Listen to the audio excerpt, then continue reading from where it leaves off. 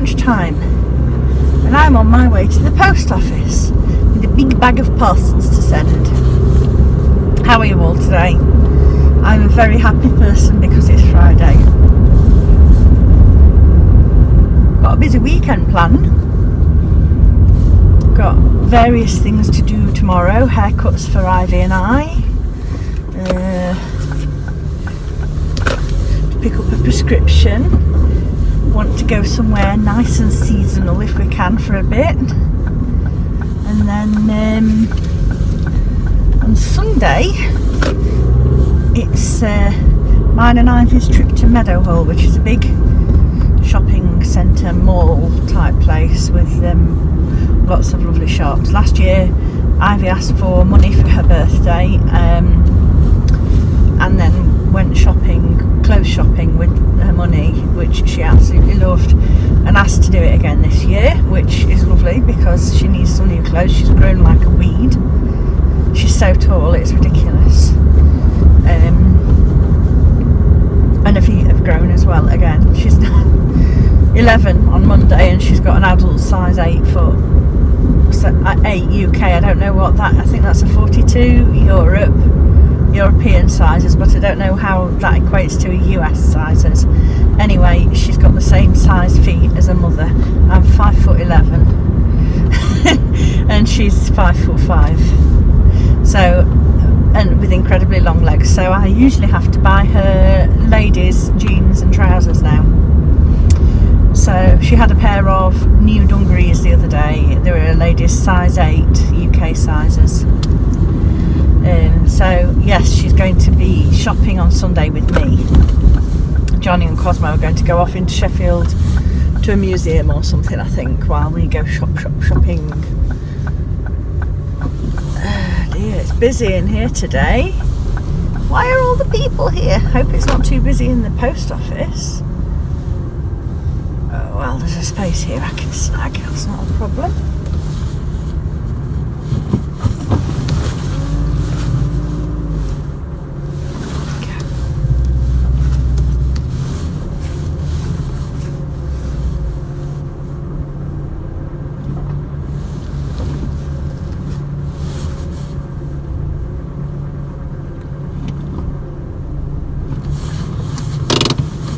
Right, let's go and post these parcels.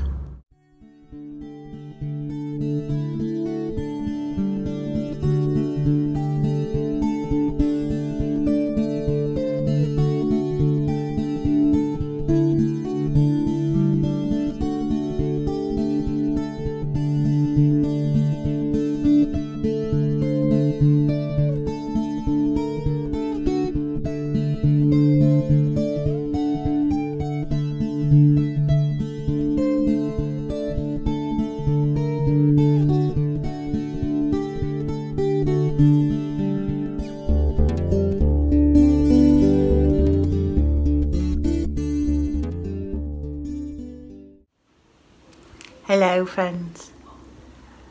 It's after work. I've picked up two children from school. One of them is mine, the other one is somebody else's. And one of my children is at somebody else's house again.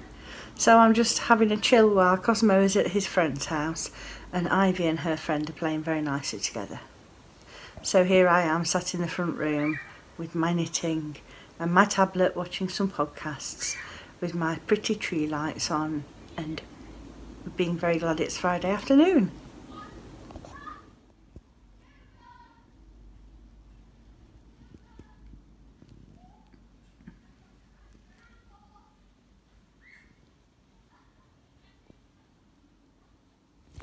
Also, my orange leaves arrived in the post. Look how pretty. Oak leaves. They don't have any wire in them at all, so I shall have to wire these up and get some of these into my wreath, probably tomorrow. Earlier when I said I was going to be um, doing lots of jobs tomorrow, what I omitted to say was lots of Advent work as well because I've got to get those out early next week. They'll be going in the post, so I've got lots of that to do over the next few days. But obviously I won't be able to share that. Anyway, these leaves, look, there's a right variety of sizes. I'm not sure I'll use the biggest ones in it. I don't know, I'm not sure. Maybe I can tuck some of them more underneath the other foliage just so you get a little bit of colour coming through. Anyway, I'll set the camera up later when I decide to do that and share that with you. Well, that was a very fast hour and a half of relaxing and knitting. Isn't it funny? how time flies so fast when you're enjoying yourself. Off I go to get the small and squealy boy.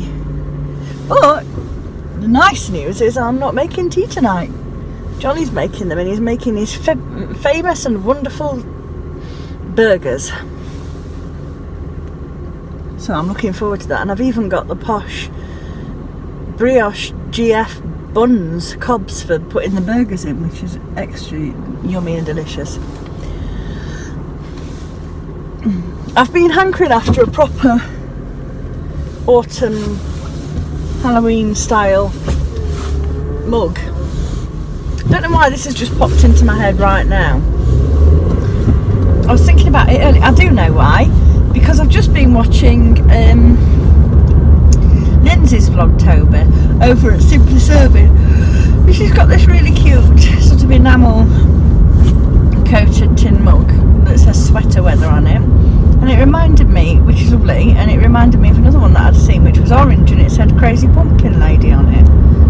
On someone else's vlog or video. Now, I've looked everywhere for a cute Halloweeny, autumny mug this year and I haven't found one that was attractive or appealing to me. Over in the States they always have loads of really cute stuff like that. Why don't we have a bit more of that here in the UK? I wish I knew. I'm not sure Happy Fall Y'all would quite suit me because I can't I just can't pull that off. But I wouldn't mind Crazy Pumpkin Lady. Not at all. It would suit me very well be extremely appropriate, I would say. Anyway, the light is fading fast. Oh, how autumnal it feels. If you've watched me for any length of time, you'll recognise this here pinafore dress. I've had it donkeys. It's from Dotty Perks, as we call it, or Dorothy Perkins, which is a British ladies clothing brand. And it's a very decent quality thing. And I really want a new denim pinafore dress because I like dark denim. But I do like the fit of this one. I just don't really like the washed out denim thing. I mean I've worn and washed and worn and washed and worn and washed this. There's absolutely nothing wrong with it apart from you know it's starting to get a bit of wear on the edge of the pockets and that but I think denim looks better when it's a bit worn anyway. So, in a bid to save money and the environment, to a certain degree at least, I've got myself a dye egg, a Dylon Jeans Blue.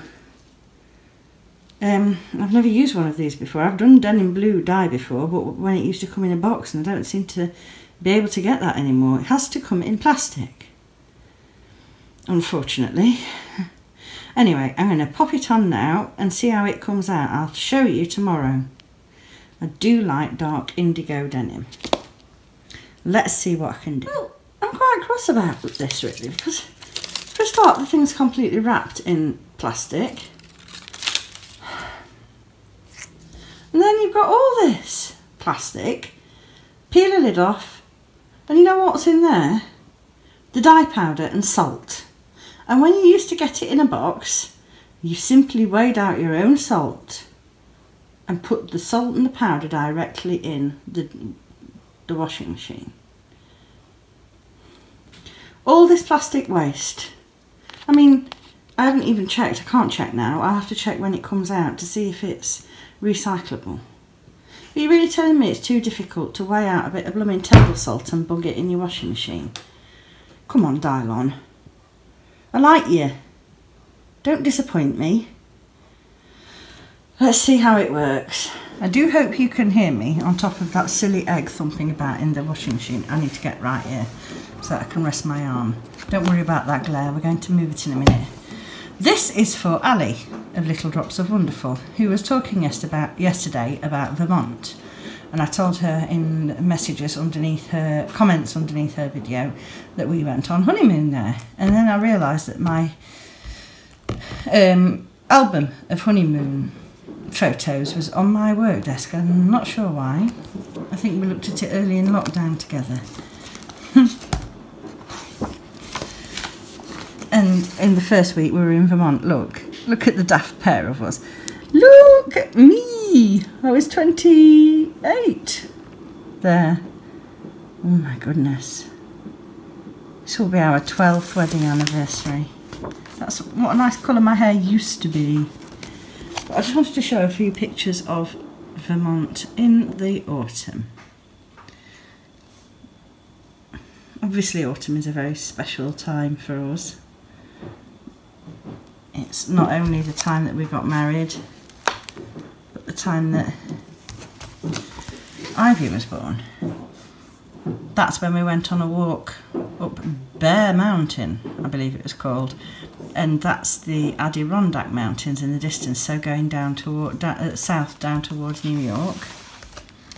I'm trying to see, oh yes, that, that's an even better view. Just look at that view. Incredible. More of the same. Let me flick a couple forward. Oh, we had snow in October. Look, look at the snowiness. So pretty. This was in a really lovely little town called Woodstock, whom I now follow on Instagram because it's so pretty. And in Woodstock, they have like the ultimate Sleepy Hollow covered bridge. Look how pretty. Oh, it's really quite a... This was a, a walk called the Dally Loop Trail. Are you impressed that I can remember that 12 years since? Shame I can't remember things that happened yesterday. Yeah, yeah. Oh, there we go. Dally Loop Trailhead. I'm trying to find a couple of pictures of the cabin that we stayed in as well. Uh, oh, look. Look at the colour. Oh my gosh. Oh, I wouldn't give to go back there again. Look at that sugar maple that Johnny stood under. It's glowing gorgeous. I'll just show you a couple more. I want to try and find... Even then I was obsessed. Look at that. I'd love to be able to recreate something like that. If I ever find enough pumpkins. uh,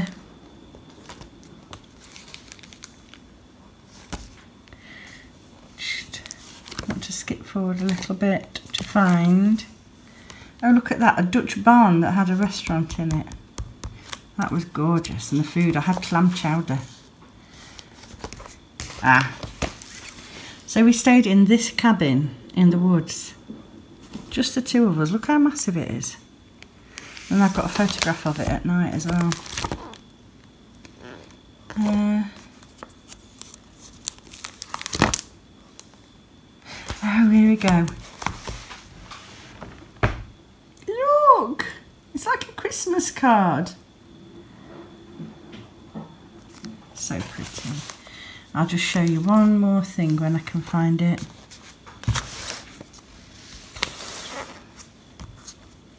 Believe that's a chickadee. I got that shot and I couldn't believe I did it. It was a total fluke. Oh, here we go. this was the most enormous pumpkin I've ever carved. Um, and I bought it from a farm stand. Now hopefully tomorrow we're going to go to um, a pumpkin patch which will be a close second to buying an actual pumpkin from an actual American farm stand. And this is Indian corn and that still comes out every year. And it sits on top of our piano now. And after we spent a week in Vermont, we went on to New York and these were some of the displays on the streets of New York but I'm going to leave it at that for now. I just thought I should share a few pictures for Ali's benefit if no one else's.